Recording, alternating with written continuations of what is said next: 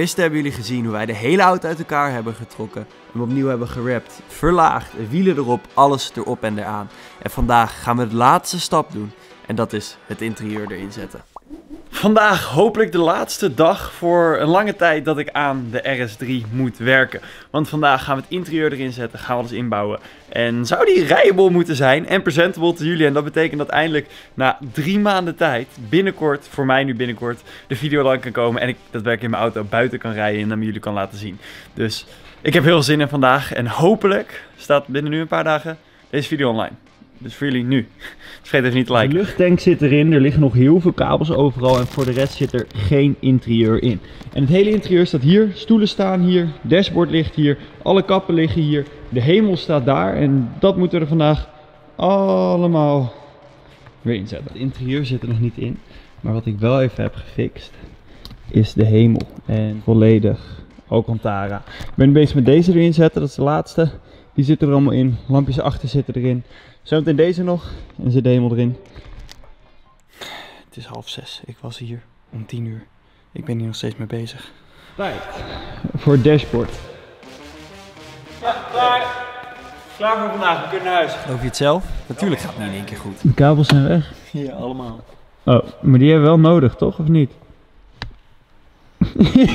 ja. Zijn echt weg. Oké. Ik zie jullie weer over drie uur. Ik ga nu de kabels allemaal wegwerken. De compressor komt hier in het hoekje. De computer van de Airless komt daar in het hoekje. De tank zit natuurlijk hier. Die moet ik nog een beetje vastzetten, want die staan niet helemaal vast.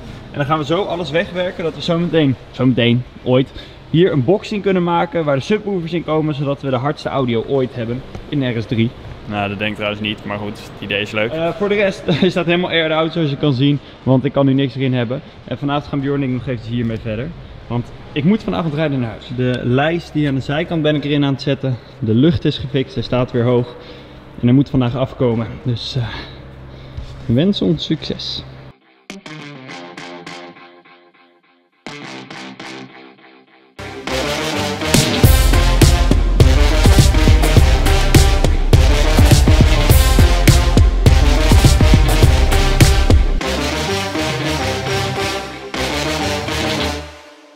Afgelopen drie avonden hebben Bjorn en ik eraan gewerkt. Het hele interieur zit erin. Los van dit kapje. Dit is het allerlaatste kapje wat er nog in moet. En die gaan we nu even inzetten. En is de auto klaar. En helemaal ook. De auto, het is niet normaal. Ik ben zo blij met de wrap en hoe alles uit is gekomen.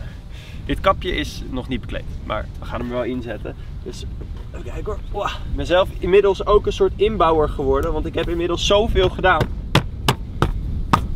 Dat ik precies weet hoe het moet een beetje slaan. En ik heb in dit proces van deze auto heel veel van de auto geleerd. Ik heb heel erg geleerd hoe uh, in en uit elkaar moeten, waar de moeilijkheid zit, waar de makkelijkheid zit en alle dingen die dus fout kunnen gaan. Dit project had een maand moeten duren en het heeft uiteindelijk vier en een halve maand geduurd nadat ik de auto heb gekocht. Met de auto erbij kopen heeft het acht maanden geduurd.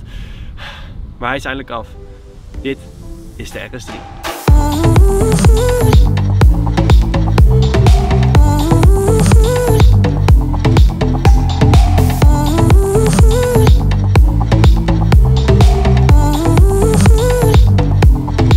Van alle mooiheid die jullie zien, is er ook nog heel veel mis met de auto. Zoals een trim in de middenconsole die mist, kapjes die niet Alcantara zijn, hele achterbak die nog niet in elkaar zit, het lipje achterop dat mist, een storing in de veringen en hij is knijtervies. Dat mag de pret niet drukken, ook al is die nog niet helemaal af, of helemaal niet af.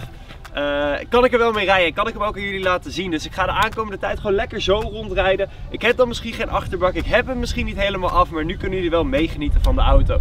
Dus als jij de auto ook wil volgen. Dit is Instagram. Als je me ziet rijden, tag me er lekker bij. Ik ga zoveel mogelijk dingen voor jullie reposten. En weer lekker auto-content maken van mijn RS3. Ik ben zo blij met dit ding. Ik ben zo blij dat ook alle bedrijven die daarmee hebben geholpen zo erg vertrouwden in mij dat ik een vet project neer kon zetten. En dat is zeker gelukt. Dus ik wil echt Tuning Service Huizen, TTE, Turbo Engineer, JT Product, GB Customs, IPE uitlaten. Al die bedrijven, alles staat in de beschrijving. Dus dankjewel allemaal voor het helpen erbij. Stack natuurlijk voor de zieke kleur. Ik ben er zo blij mee. Maar we zijn nog lang niet klaar, want ik heb het bericht gekregen. Ik heb gisteren een bericht gekregen dat er toch een whitebody aan gaat komen. Er is toch een whitebody gemaakt. Er is nog één whitebody gemaakt en deze komt naar mij toe.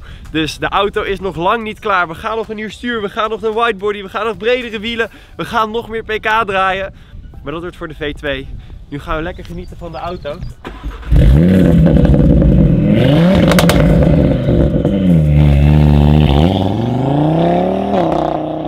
Dus welkom bij de RS3 V1. Vanaf morgen gaan jullie genieten van een heerlijke roadtrip die Zilver en ik hebben gemaakt met deze auto naar Zuid-Duitsland. Dus als je er zin hebt, duimpje omhoog, subscribe je beneden. En dan zie ik je morgen om half vijf.